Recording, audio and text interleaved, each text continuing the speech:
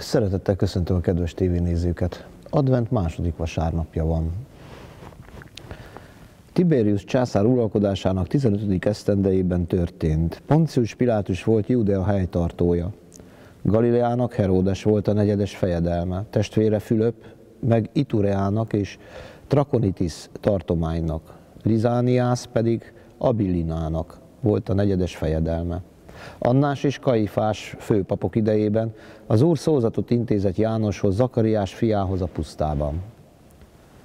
S bejárta a Jordán egész vidékét, hirdette a bűnbánat keresztségét a bűnök bocsánatára, ahogy megvan írva Izajás próféta beszédeinek könyvében. A pusztába kiáltónak ez a szava.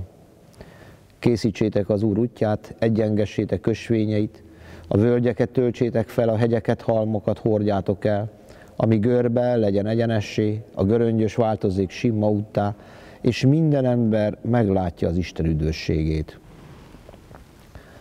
Kedves tévénézők, kedves testvérek! Keresztelő János fellépése az egy történelmi fordulópont.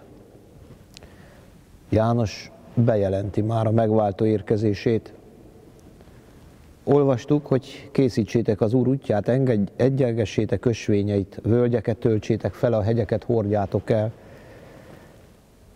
Tehát szabaduljunk meg minden bűntől, a bűnhegyeitől, a ránk rakodott bűnökről, bűnöktől, ami göröngyös volt, tegyük egyenessé. Tehát az út egyenesen vezessen az Istenhez. Tehát változzék simma úttá és akkor meglátja az Isten üdvösségét mindenki. Ezzel a lelkülettel próbáljunk mi is felkészülni, igazán advent második vasárnapján Krisztus várására. Amen.